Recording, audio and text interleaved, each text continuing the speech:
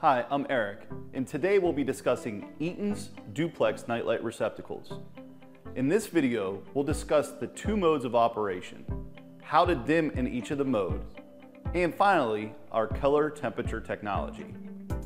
Eaton's duplex nightlight receptacles have two programmable modes, nightlight mode and guide light mode. The product comes pre-programmed for nightlight mode, in nightlight mode, the receptacle uses a sensor to detect the current light level. When the light level gets low enough, the nightlight will automatically turn on.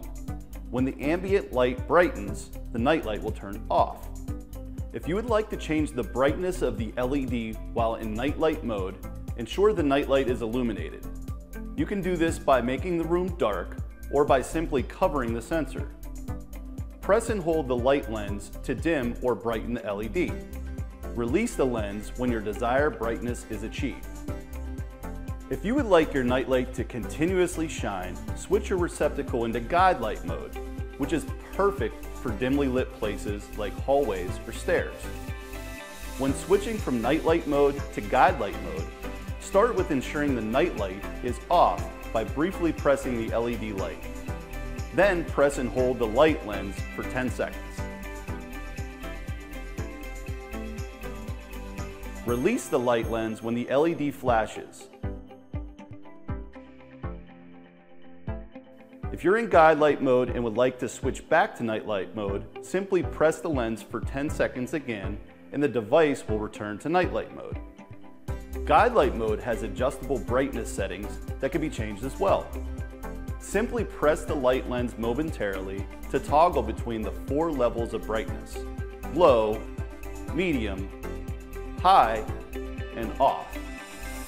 Eaton's duplex nightlight receptacles also offer the capability to change the color temperatures of the LED light.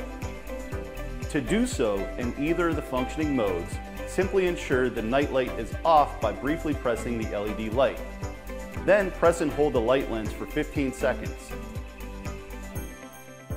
the light lens will flash once, but continue to hold it until the LED flashes a second time.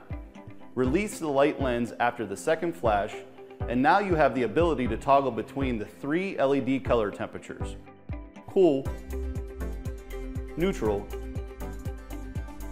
and warm. After selecting, press and hold the nightlight lens briefly until the LED flashes in order to save. Without saving the color temperature selection, the nightlight will revert back to its previous color temperature after 10 seconds of idle time. For more information on Eaton's duplex nightlight receptacles, visit eaton.com forward slash nightlight receptacles.